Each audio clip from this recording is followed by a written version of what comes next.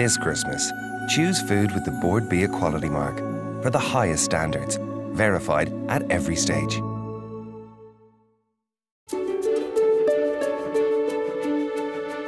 Hello and welcome to Neven's Kilkenny Christmas. I'm here because the city and the county won this year's Foodie Destination Award, and that's as good a reason as any to come to the city. I'm standing in front of Kilkenny Castle, and the OPW has generously allowed me to film in the castle's old kitchen, which is now a coffee shop. And over the next two programmes, there's going to be a lot of food. The traditional favourites, of course, but some new recipes as well, including a chocolate alternative to plum pudding. But let's begin with two starters that are easy to prepare and which are both very stylish, perfect for Christmas entertaining. The first of my starters I'm going to make for you is my smoked trout pate, and it's really easy. And you can make this ahead of time and serve it with some crispy bread, you know, some brown bread. So I'm using a local producer outside Kilkenny, Goatsbridge Trout Farm, and this is the cold and the hot smoked trout. We've chopped a little bit of the cold and also the hot smoked. So we're going to stir that in afterwards. This goes into the food processor. So this is the hot smoked one here, and then the cold one. Some cream cheese, Philadelphia, mascarpone, they'll all work beautiful. And then we're going to blend this. I just love the colour of that. Just look at it. It's gorgeous. You have a tiny little bit of texture, but we want a little bit more. The hot and cold smoked, so just stir that through. And then we're going to get lots of lovely flavours. So some lovely herbs, first of all. Dill works really well, parsley, chives, any of those will work beautiful. So I'll grab some chives here. And then I'm going to grab some lovely dill. So dill, bronze, fennel, all that. So if you ever pickle anything with vinegar, sugar, dill is really, really good. It works really well with fish. So using your knife, just stir that through into the bowl. And then some chives. So there's lovely colour, nice texture. Scoop it in. And then we're going to put a little bit of some lemon zest. Now you can use some lime, which work well, but lemon will be beautiful in this. I love the smell of lemon, and it works really well with the smoked trout. So then me just stir everything through, just using a spatula or a spoon. First of all, look at the colour. So that will keep in your fridge for a couple of days. Serve it with brown bread, crackers, anything like that, delicious. We're gonna serve this up. So you can have this as a starter. A little bit of sourdough bread, just drizzle it with some rapeseed oil or olive oil and just in a griddle pan.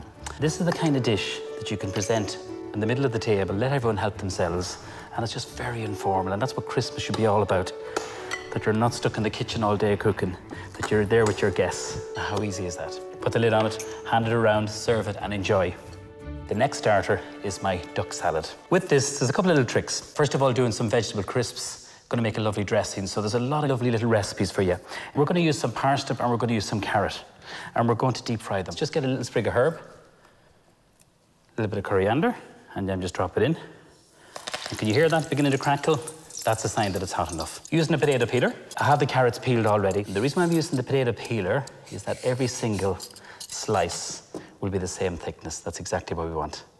So we use carrots, you can use celeriac, some beetroot, that should be enough. And then parsnips, and I love parsnips, and parsnips are delicious in a soup with a little bit of honey, thyme, and stock, and you can roast them. So now we're gonna crisp them up. Very careful. So don't crowd the wok or a sauce, but it doesn't matter really what you use, as long as it's nice and hot. On their own, they're delicious and they can be made ahead. So the key to this is to keep moving them, just with your slotted spoon. You can toss them in flour, but you know, they're nice just as they are, with a little bit of sea salt and just crispy fried. You can also do them in the oven, but this is far quicker. Now you can see the parsnips changing really quickly. So kitchen paper, Keep these in an airtight container and they'll happily keep for a few days. You can have them done ahead. If they get a little bit soft, pop them into the oven, two or three minutes, just to crisp them up. This salad is full of flavour and texture. Little touch of sea salt. And even them, just as a little nibble, they're gorgeous. Nice and crispy.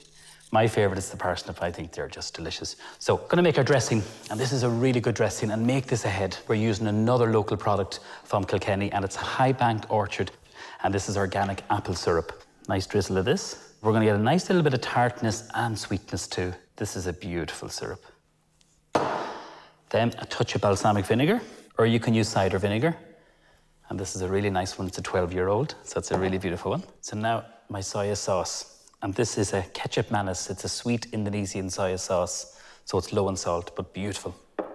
Some sesame seeds. You can toast them if you want on a dry pan. And then for a lovely bit of kick, some root ginger and just grate a little touch of this. Now you can crush garlic into this, use some sesame oil, but I'm going to use some lovely local rapeseed oil. So this dressing will keep happily for easily up to a week ahead. Nice drizzle of this. Pinch of salt and a little bit of black pepper. Now you could put some lime zest and juice into that, so you can just do mix it all together. So it's like an emulsion. If you want to loosen it up, I, I like it like that tablespoon or maybe less of cold water. We'll just loosen that up. And that's it. Now, the mango. So just use a nice serrated edge knife. I have more than enough here. Slice this into nice long slices. Nice and thin. So you can have this done even the night before, either for a starter or you're having friends around. It's gorgeous. The duck is in the oven.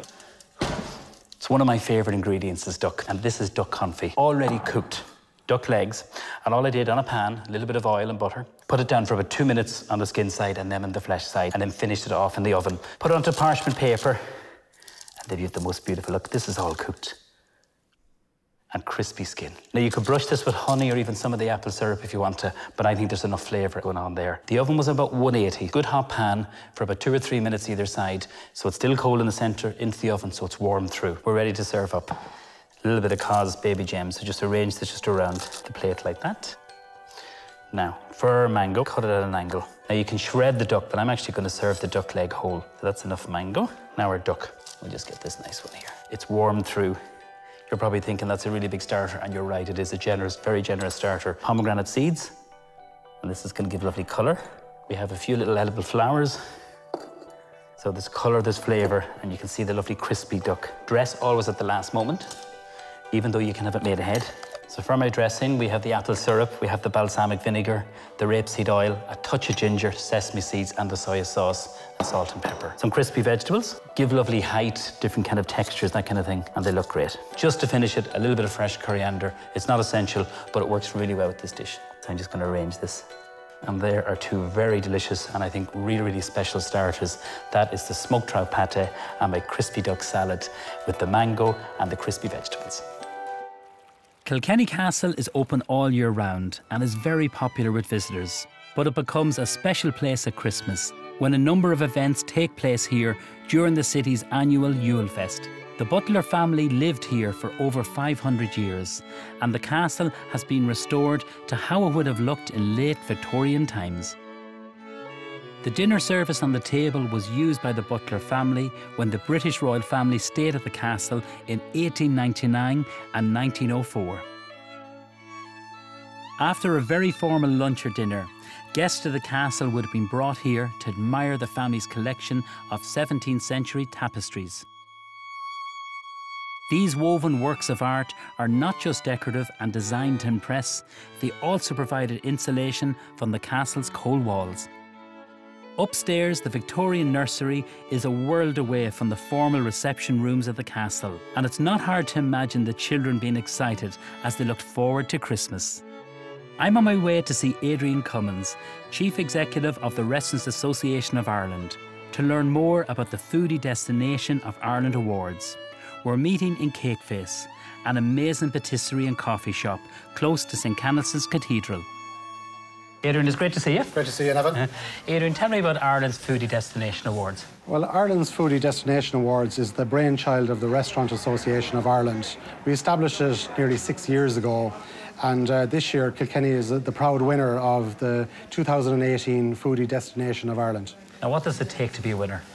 Well, it takes community involvement. You need uh, businesses like this great business here and many, many more in a community, a region, a town, or a destination to come together, work together to put that region or town or community on the on the map of Ireland as a foodie destination. How many people entered the competition this year? This year we had 30 applications from all over Ireland, north and south. It's an all-island uh, competition. Uh, we had three nominations from uh, three destinations in the north of Ireland that was shortlisted, along with seven more in the south. So it has a huge impact for whatever town wins. It's a massive impact for a local uh, destination, and Kilkenny shows that uh, a region like this, who has been in the top five for the last three years, okay. uh, they've been building strength on strength year on year over the last three years. It shows the local involvement by the county council, uh, who have brought the local businesses together. Uh, in this region, you have two fantastic Michelin star restaurants. You have great businesses like the business that we're in here today. Cakeface, yeah. Great local produce uh, sourced locally, uh, great involvement with the local producers, uh, and that's what we're looking for. It's a, truly a local competition on a national stage. So it's all about working together, the food, the producers, you know, the businesses. Working together for the betterment of their local community. Well, I can definitely see why they deserve to win it. There's something very special happening in the city, and thanks for coming down to chat to me. Thank you very much. Gentlemen, Adrian, thank you.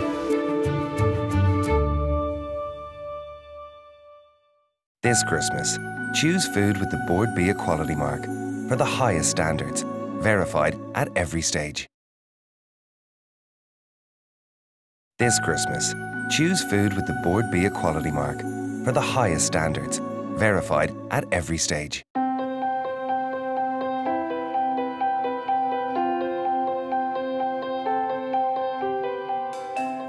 No matter how many times people have cooked the turkey, they like to be reminded how to cook it. There are lots of lovely tips. Especially at Christmas, some people might be cooking turkey for the first time. For me, I treat it like a large chicken. And it's actually very, very simple. So I have it cooked here. I'm gonna take it out.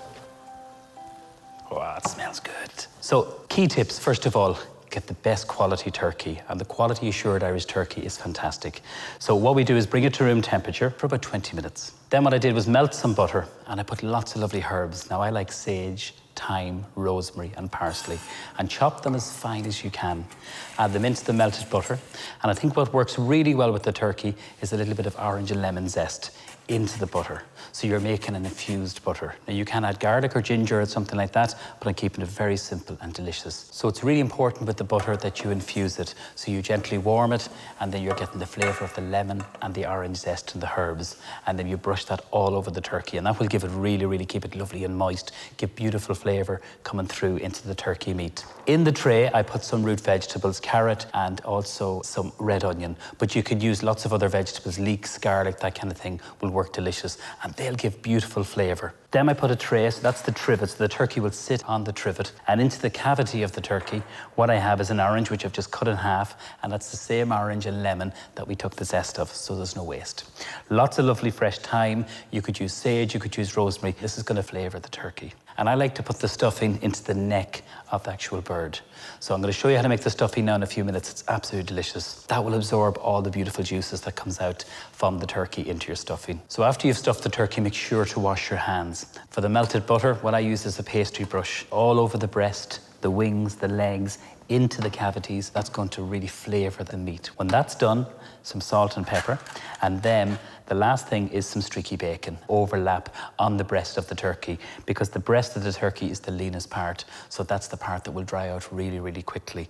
And that will give the most beautiful flavour into your turkey, but also into your gravy. So that's a streaky rasher, which is smoked. Next, I drizzle some lovely local rapeseed oil. Be generous all over the breast and the legs of the turkey. Then what I do is I pour a jug of cold water just into the tray and that's going to help for my gravy juices. Two sheets of tin foil goes on top of the turkey and this bird here is just a little bit over five kilo and it takes about four hours there approximately, 20 minutes per pound.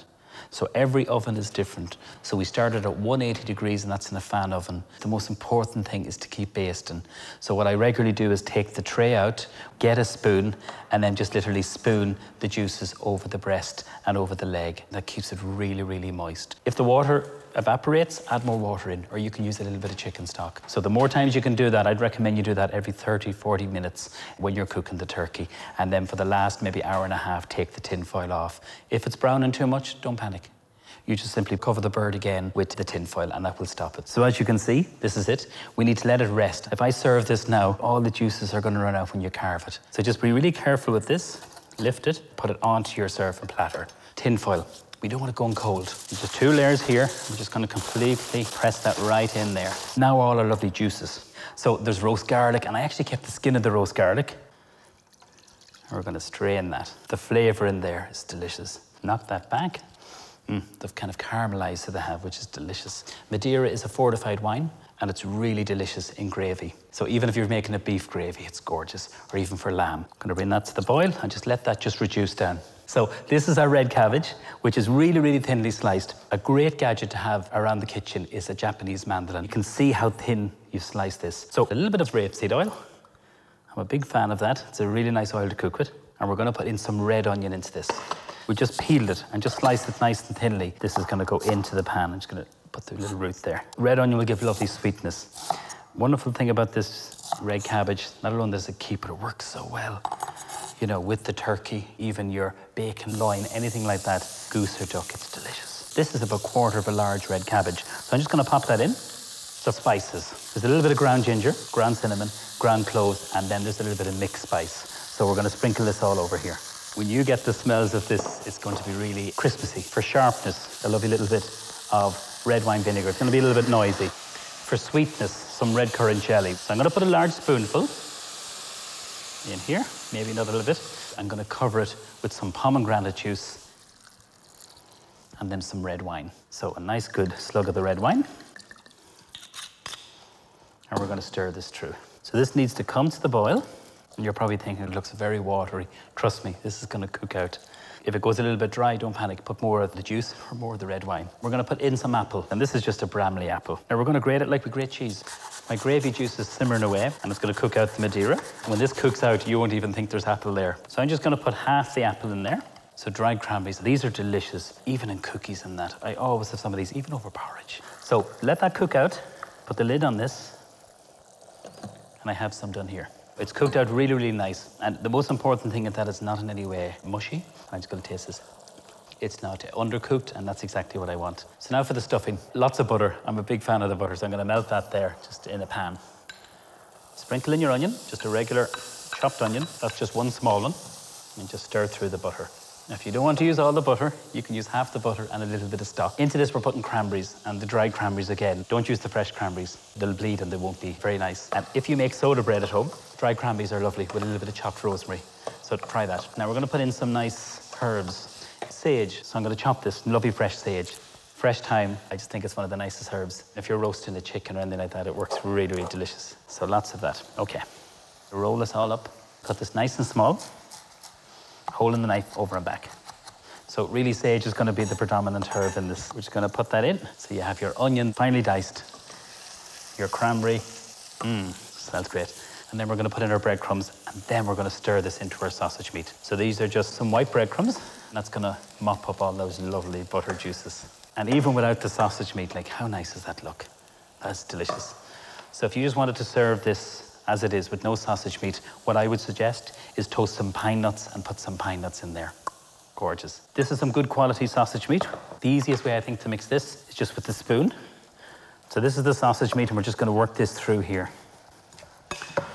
So I find the easiest way, obviously with a spoon, but a big bowl because then you can just mix the sausage meat through it. So this is the stuffing ready, and this is the same stuffing that I stuffed the turkey, and I stuffed the neck of the turkey. We're just gonna finish the gravy. I like to enrich it just with a little splash of cream, with a tablespoon. And it kind of lightens it, to be honest with you. Changes the color slightly, a little touch of salt, and some pepper.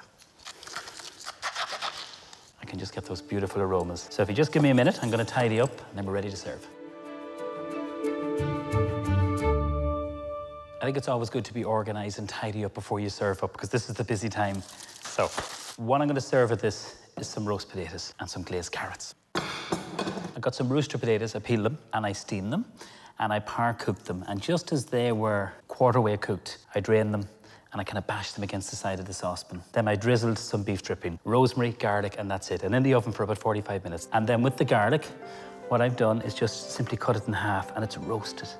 It's sweet. All I did with the carrots was cut the baby carrots in half and some parsnips, steam them for three or four minutes, drizzle them with a little bit of butter, a little bit of maple syrup or honey, and then some star anise and cinnamon. So a little bit of thyme, and also we have some lovely fresh sage into the cavities like that. Red cabbage. I just like to do a family serving and let people help themselves. Now for a lovely little bit of festive flavour or touch, some pomegranate seeds on top. And then for our gravy, Madeira is cooked out, and the main ingredient here is the lovely juices from the actual turkey.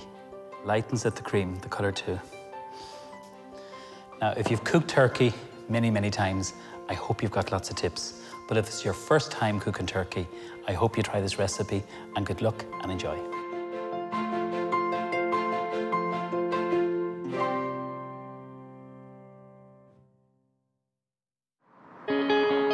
After a long day in the kitchen, I'm going to the Hole in the Wall, Kilkenny's oldest and smallest bar, owned by cardiologist Michael Conway. Hello, Michael. How are you? This Welcome, is a, welcome. a lovely, cosy place. Thank you very much. But not the easiest to find, I have to say. oh dear. common complaint, common complaint. The, uh, you know, the reality is we're in a house built 1582, which is the inner house of a Tudor era mansion. It's hidden away from the street. It's got so much character. This is a very unusual place because there are very few places in Ireland that survive from the 1580s. In the 1700s, it became one of the taverns in Ireland.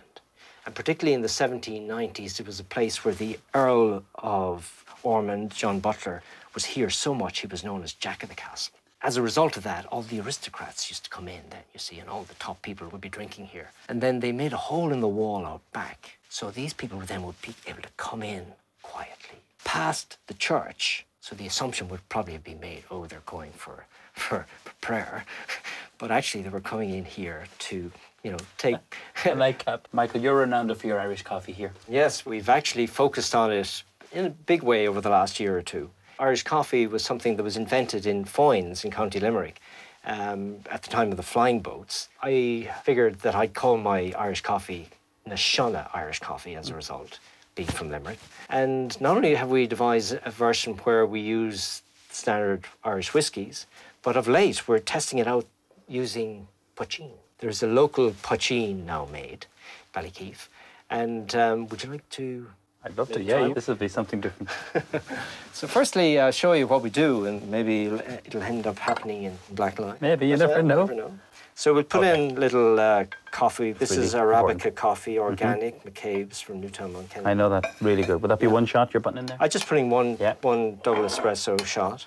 And then basically we'll just put in some sugar. I ask whoever asked for uh, coffee how much sugar they'd like. Personally, bit of a sweet tooth, so I go for about one and a half myself. and so, always brown sugar, is it? Always brown sugar. Sometimes uh, very uh, oily brown sugar from the Caribbean. Once we've done that, then we add in our poitín. Now we could use a measure, but maybe not. We'll Maybe just uh, how much would you like? I have a bit of work to do, so Okay, so we'll just go gently. Yeah, This is mate. uisce beatha, of course, you know, this is water of life in so many ways. So then the next stage then is just to put in some hot water. Mm-hmm.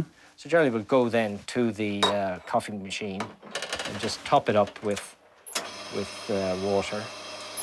So this will be our strategy. And then the next phase of it is to put the cream on it. So what we do is basically shake the cream. And that makes it a bit more thicker, maybe. Yeah, a bit thicker. And that's just whipping cream you're using for this. Just that's all. Look at And the as you can see, then it doesn't really sink or die.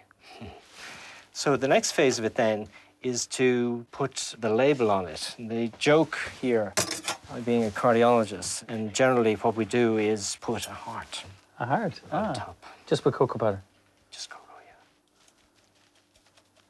Now, Michael, we're using the poitín, but you have lots of other local Yes, beers that you're brewing yeah. in Kilkenny, isn't yeah, there? There's there are lots huge- of other options. The original of the species, I suppose, is Smithwick's. In fact, originally, before it was Smithwick's, was O'Sullivan's. And now people, thanks to the Smithwick's family, are making a, an O'Sullivan's beer here in Kilkenny. Ballykeefe also have a gin, very, very nice gin. The Highbank Orchard gins.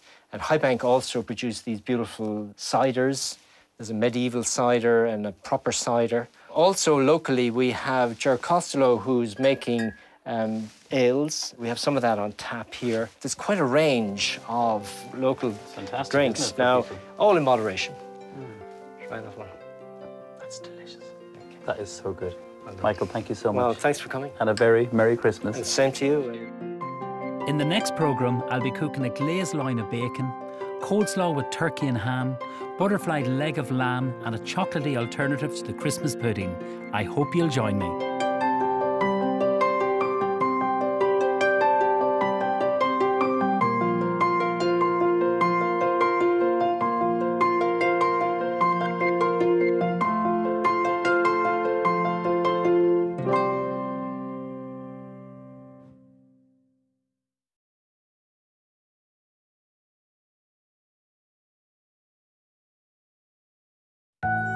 This Christmas, choose food with the Bord Bia Quality Mark for the highest standards, verified at every stage.